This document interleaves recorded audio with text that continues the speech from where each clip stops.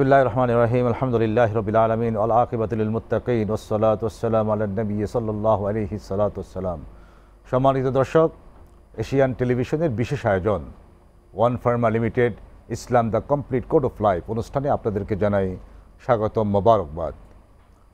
উক্ত অনুষ্ঠানে পাওয়ার বাই হিসেবে থাকছে স্কোয়ার প্লাস্টিক লিমিটেড আর কো স্পন্সর হিসেবে থাকছে সেভেন হর্স সিমেন্ট। প্রিয় দর্শক রমাদান মাস আবারও ফিরে এসেছে আমাদের কাছে। আমরা রোজা রাখতে শুরু করেছি, সিয়াম পালন করতে শুরু করেছি। কিন্তু আমরা কি সংশ্লিষ্ট জ্ঞানসমূহ অর্জন করতে পেরেছি? আমাদের কি প্রস্তুতি? আমরা কি প্রস্তুতি নিয়ে রমাদানে প্রবেশ করেছি নাকি প্রস্তুতি ছাড়া? এটি অত্যন্ত গুরুত্বপূর্ণ প্রশ্ন। লাখো কোটি টাকার প্রশ্ন। আমরা প্রস্তুতি ছাড়া কি পরীক্ষার হলে যাই? গেলে কি হয়? সুতরাং এই বিষয়টিকে সামনে রেখে আমরা রমাদানের যে দিনগুলো আছে, প্রত্যেক দিন বিকালে আপনাদের জন্য আয়োজন করেছি জীবন ঘনিষ্ঠ বিষয় নিয়ে আলোচনা করা। আমরা আলোচনার ঢালি সাজিয়েছি। আজকের এই পর্বে অত্যন্ত গুরুত্বপূর্ণ বিষয়কে আমরা নির্ধারণ করেছি, সেটি হচ্ছে সাহারি ও ইফতার।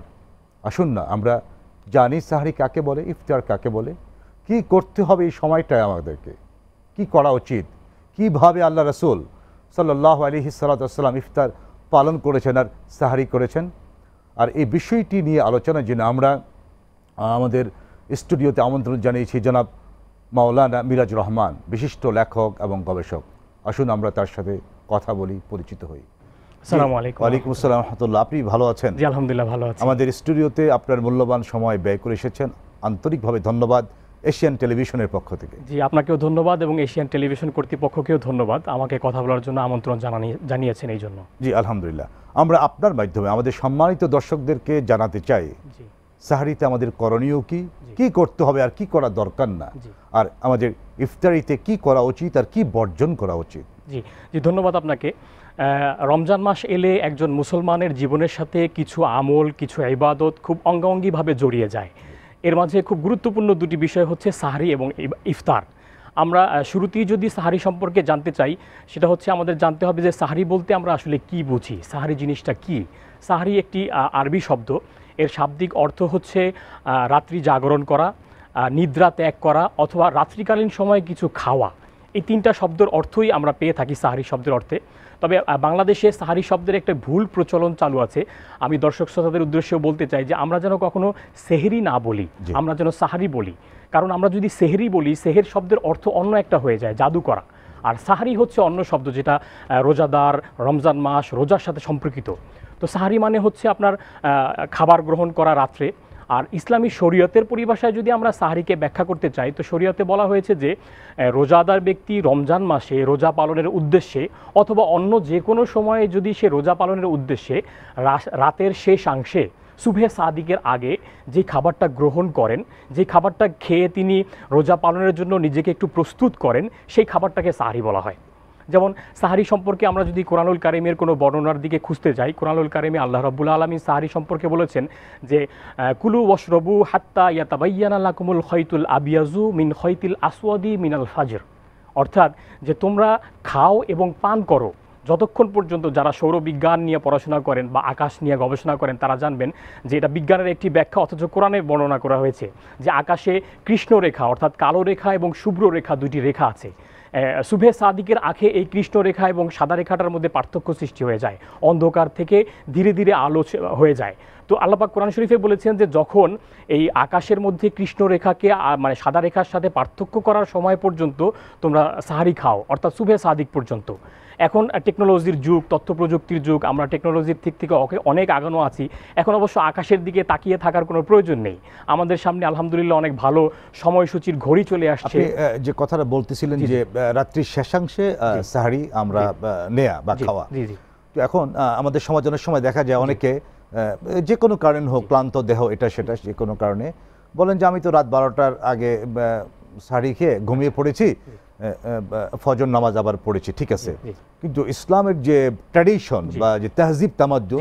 বা আল্লাহ রসুল যেভাবে পরিপালন করতে বলছেন তার সাথে একটা বৈপরীত্য দেখা যাচ্ছে। হ্যাঁ এটা বৈপরীত্য একদিক থেকে দ্বিতীয়ত কথা হচ্ছে সাহারি সম্পর্কে কিন্তু হাদিসে অনেক আলোচনা এসেছে। জি।